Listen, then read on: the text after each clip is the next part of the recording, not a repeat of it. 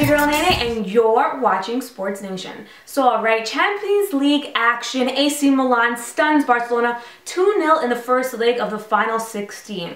Now I'm going to cut straight to the chase. 57th minute, handball on Cristian Zapata ends up in a goal for Kevin Prince Boateng, 1-0 Milan.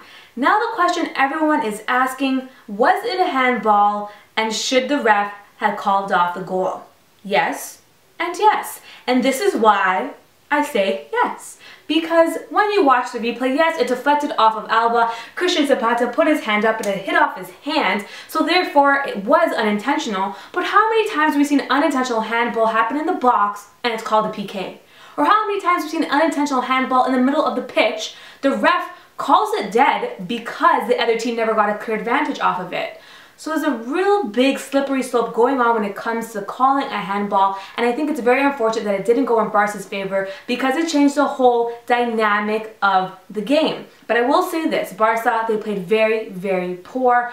AC Milan dominated them from beginning to end. No excuse on that second goal. Sulley Muntari, great finish. So I say let's just do this. Let's just congratulate Bayern Munich from now from the 2012-13 Champions League because it's bound to happen. But now I want to know what you guys think. Do you think it was a handball? Do you think the goal should have been called off? Do you think FIFA needs to change the rule on the handball and make sure everyone knows what it really means and when you should call in the right situations. And as for Barcelona, do you think they can come back from their 2-0 deficit when they go back to Camp Nou? Write me your comments and let me know. And like always, you guys know the drill. Subscribe to my channel, follow me, Facebook, Twitter, Facebook, Instagram, all over the place. And we'll talk more footy later. Bye, sports fans.